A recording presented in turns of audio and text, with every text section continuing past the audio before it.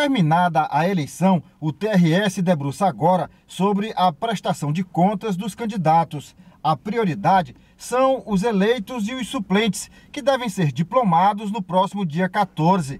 Mas a Coordenadoria de Controle Interno do TRE vem constatando irregularidades em mais de 40% das contas. A nossa avaliação em termos técnicos se refere exatamente à apresentação das contas e com relação à parte que a gente faz de batimentos perante tanto a órgãos fiscalizadores, principalmente os batimentos realizados com o Tribunal de Contas da União.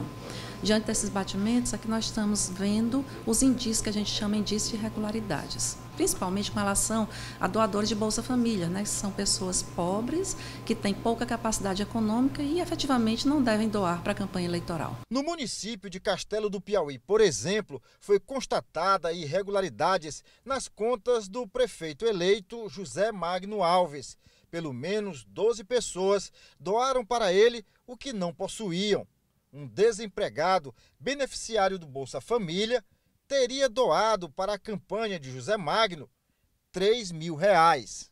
Esta foi a primeira eleição depois da mini-reforma eleitoral de 2015. Pela nova lei, as empresas estão proibidas de fazer doação para partidos e candidatos. Pessoa física pode doar, mas apenas 10% do que ganhou no ano anterior. Para o advogado eleitoralista Leandro Cavalcante, a nova lei não conseguiu barrar a fraude eleitoral.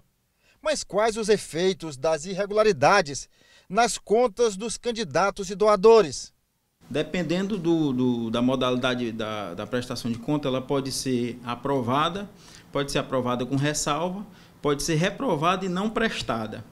Caso é, haja a não prestação das contas, ela pode ensejar a inegibilidade. Já de imediato. De imediato. Porém, o efeito imediato da prestação de conta como reprovada, por exemplo, ela não ensejaria inegibilidade, mas sim daria ensejo a uma ação secundária que seria que preveria com fundamento no artigo 25 e no artigo 30A da Lei Geral das Eleições justamente uma ação por abuso de poder econômico que poderia gerar inegibilidade e a suspensão da diplomação do candidato que teve as contas reprovadas.